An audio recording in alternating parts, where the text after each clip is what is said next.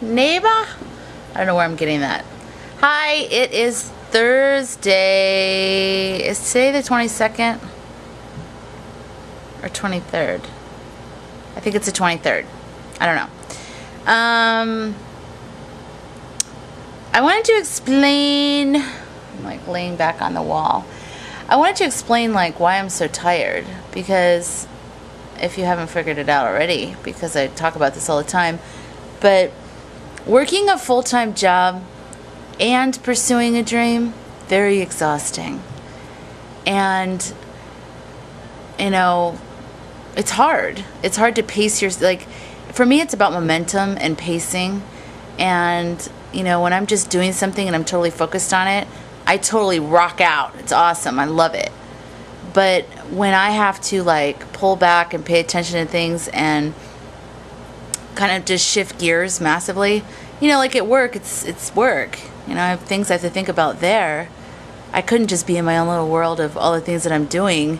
I I have to, you know, I have to be aware of other things, people and my my job and other stuff. So that's very jarring for me. It's very hard, especially when I'm about ready to do something like like this weekend I'm going to film a bunch of stuff and it's very intuitive. It's not like a narrative.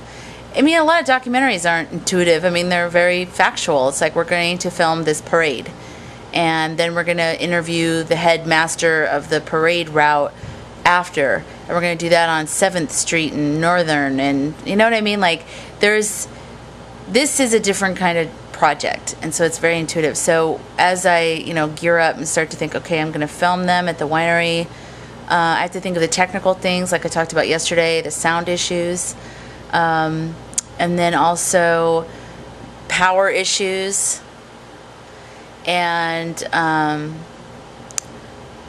just structurally, you know, how we're going to work it all out with his schedule, with well, with their schedule, and then with my schedule and all that other stuff. So, you know, you have that on one hand, and on the other hand, you know, just the spiritual, psychological artistic side is on the other side. So, but that's why I'm doing this. I love it. You know, I love to do this, and I would love to do this for the rest of my life. This is, you know, to do projects that call to my heart, you know, and that's my dream. I want to be able to do the projects I want to do. And even th- though there's going to be hard times in it, it's what I want to do. So it's it's a good thing, you know. So, oh my god, it's three minutes. I'm so sarcastic now about the three minutes. I'm so sorry. You know, I love doing my little journal thing. I have a bunch of errands to run, which I want to tell you really fast. I'm getting biodegradable poop bags for my dog.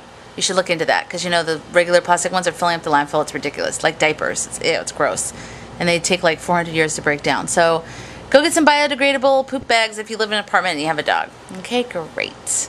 Have a great night. And tomorrow I fly to Napa, so maybe I'll do my journal from. No, I'll do it from the winery. And so I might not be uploading the next few videos until Tuesday of next week, but I might upload them this weekend. And also, I'll get some uh, footage of the winery and maybe some production stills and stuff like that. Have a wonderful weekend if I don't talk to you like directly like this before then. All right, take care. Bye bye.